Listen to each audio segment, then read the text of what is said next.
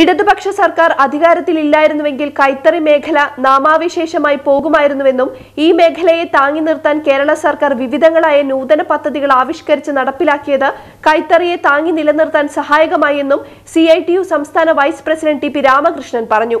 കേരള സംസ്ഥാന കൈത്തറി തൊഴിലാളി കൗൺസിൽ പ്രതിനിധി സമ്മേളനം പറവൂരിൽ ഉദ്ഘാടനം ചെയ്ത് സംസാരിക്കുകയായിരുന്നു അദ്ദേഹം. സി ഐ ടി യു ജില്ലാ secretary P R Muraleedharan K A Vidvadhanan T S Baby എന്നിവർ സംസാരിച്ചു.